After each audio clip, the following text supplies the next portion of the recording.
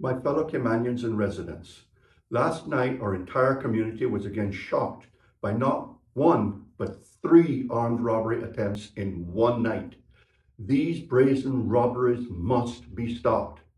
The Deputy Leader of the Opposition, Member of Parliament Joseph Hew, and I are meeting with the Commissioner of Police on Monday to discuss these concerns. We commit to doing all we can as opposition leaders to help the RCIPS clamp down on the, those committing these crimes. Last night, while a business establishment was robbed, two of the attempts seemed unsuccessful. But all three cases would have given any staff and customers at the business establishments a real scare.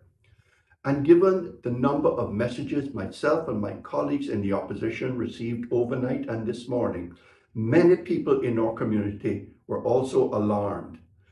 I said in my earlier message to the country, now is the time to act if we are not to let the problem of increasing serious crime spiral out of control. I have every confidence in the Commissioner of Police, his senior team, and the officers of the Royal Cayman Islands Police Service.